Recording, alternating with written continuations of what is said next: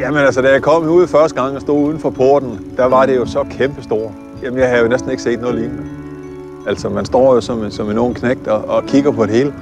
Og alle de her personer, som min far havde snakket om hjemme hen over aftensbordet, jamen dem får man lige pludselig sat ansigt på. Det var de her spændende smede, som gik rundt herude, og, og lige pludselig så føler man sig jo, man er jo en del af det her sammenhold.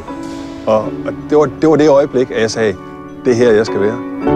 Her har jeg min plads.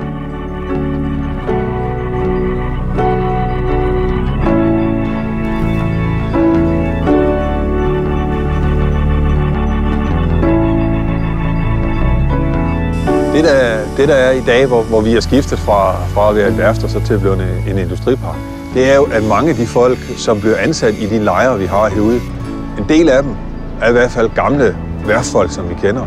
De har lidt af ånden med sig, men de forsøger også på at præge de nye, der kommer her, til at få den her ånd, at herude, der er vi ligesom en lille by. Vi er en stor familie.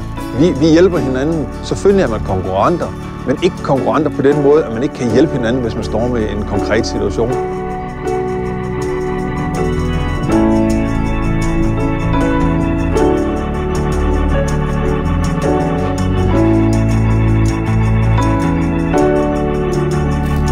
Det, der sker i dag, det er jo selvfølgelig, at der kommer mindre virksomheder ind, som, som udvikler øh, nyere teknologier og sådan noget. Der var det i gamle dage nok lidt mere traditionelt håndværk.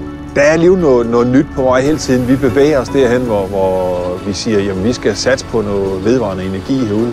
Og det, det medfører, det er jo selvfølgelig en helt mere teknologi end, end tidligere, hvor det var fysisk hårdt arbejde, der var herude.